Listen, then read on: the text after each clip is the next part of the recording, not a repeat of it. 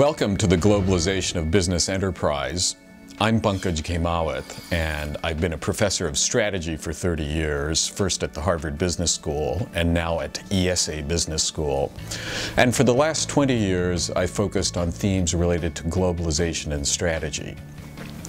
This particular course grows out of that work and out of some work that I did with AACSB International, the leading accreditation body for business schools worldwide. This is an introductory course with no international experience or prior work in business required, although obviously it would be helpful if you actually are interested in globalization and in what it means for business. The first segment of the course focuses on how global the world is, how global companies are, how global we are, and cuts through what I refer to as globaloney.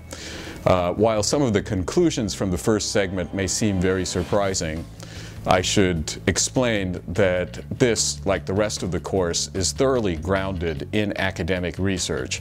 And so what's really surprising is the extent to which the popular discussion of globalization has failed to be informed by what we already know about the topic. The second part of the GLOBE course focuses not on what globalization isn't, but on what globalization is.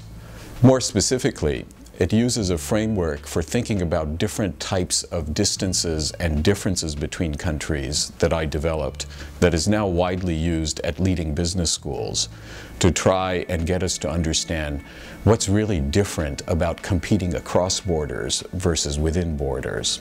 The final part of the GLOBE course is synthetic. It tries to pull together the implications of everything that we've talked about, not just for corporations, but for you in terms of your personal development and your career trajectory.